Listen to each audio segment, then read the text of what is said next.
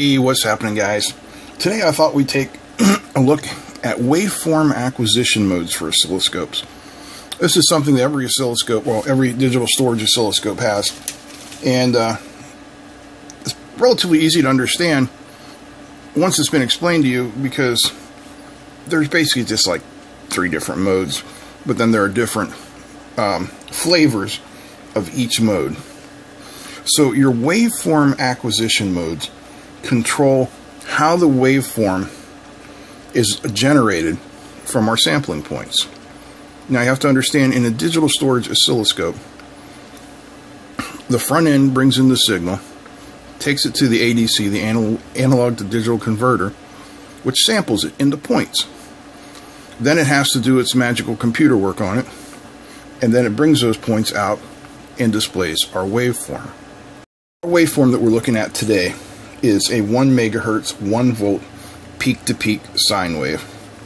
I have it here on this channel which is set for 500 millivolts per division so you see there is our 1 volt covering two divisions. Now we are right now in what's called normal or straight sampling mode. For every point that is sampled a point is displayed. It's simply a straight sampling. And this is basically your normal mode. That's why it's called normal. It's also the safest mode. This isn't going to give you any distortion of your signal because of the processing that is being done.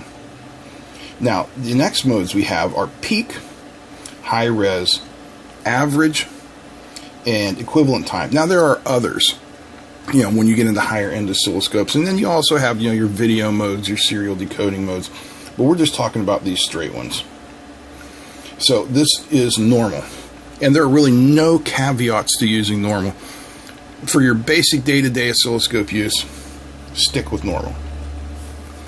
Our next mode we have is peak mode. Now you see it kind of looks pretty much the same here. What peak does is it uses the minimum and maximum for every individual point of a waveform and then basically averages them together. So this is a form of averaging.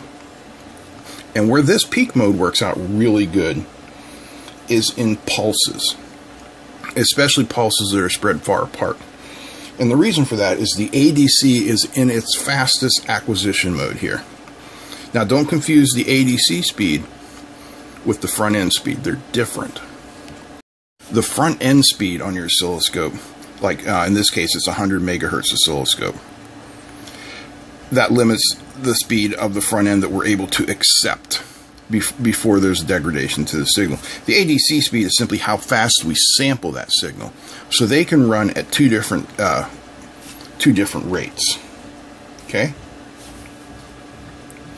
Now, um, peak mode like I said, is uh, good for pulses and stuff like that. Now, its its downside is because it's an averaging mode. If you're using it for a repeating waveform like this, what you're going to end up with over time is a distorted view of this waveform. You're simply going to end up seeing the changes from one point to another over time. So if you're looking at a repeating waveform, you want to think more about going back to your your uh, normal sampling mode. And then our next mode we have, this one doesn't have it.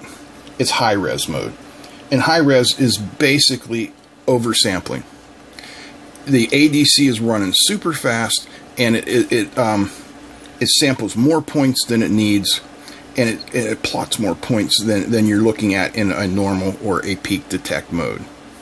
It gives a cleaner picture, I guess. That's the best way to put it. And then after that, we're going to have averaging mode. Now this one is a useful one. Averaging mode, the sample points are saved from multiple waveforms. Say, you know, I'm, I'm, I'm just speaking here, I don't know what the specs are on this. Say it samples 100 waveforms. And then what it does is it averages those points. And what peak detect, or averaging mode is good for, is eliminating random noise on your signal. See how that kind of cleaned up a little bit from our normal? You can see those It's just little blips of noise there.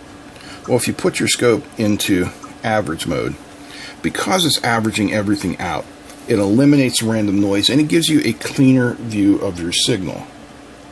Now the downside is you only really want to use this again with periodic signals where all you're going to see is the change over time.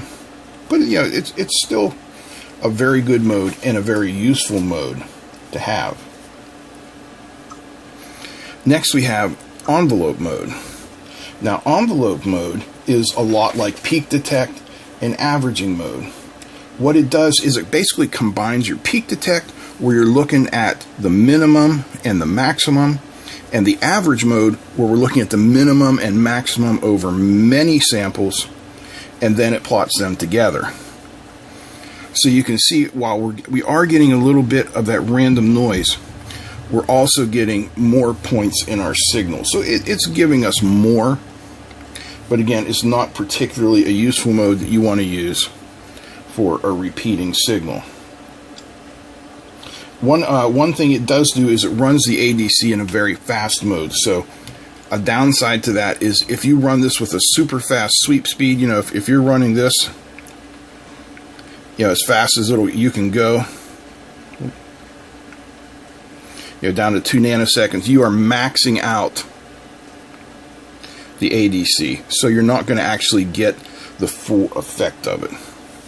Now, another uh, mode that we don't have here is the equivalent time mode. And what it does is it gathers way it gathers sample points from multiple waveforms. Again, it's like a, an averaging mode. And then it combines them to make a single waveform. So it's like the it's like the deepest averaging mode where it averages multiple, multiple, multiple waveforms, then it brings them all together. While it will give you a decent picture and it's useful in some cases, not a lot, it really slows down the way everything runs.